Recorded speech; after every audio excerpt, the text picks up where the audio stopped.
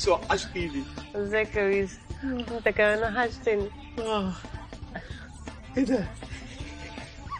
إيه الهبل اللي انت لابساه ده؟ لابسه إيه يا تافه انت ما تبص لنفسك هو انت لابس إيه يا وسيم انت كنت كده في الشارع أيوه طبعا كنت باللبس ده في الشارع ما أنا جاي من الشغل انت إيه اللي انت عاملاه ده؟ انت قاعدة باللبس ده في البيت معقوله؟ وبتغيري ليه كتير كده؟ انت عامله لي فيها بقى شريهان في الفوازير؟ أنا امال انت بتعمل إيه ما تثبت يلا طب وسيم أنا زهقانة قوي ما تيجي نخرج كده نخرج كده؟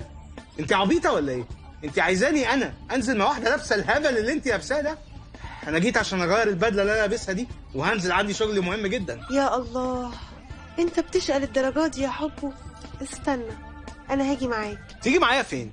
تيجي معايا بالعبط اللي انت لابساه ده؟ انت جننتي يا اسراء بقول لك رايح الشغل ده شغل يا ماما ما ينفعش الأشكال دي تنزل كده ولا أقول لك تعالي ننزل فعلا أحسن ما ننام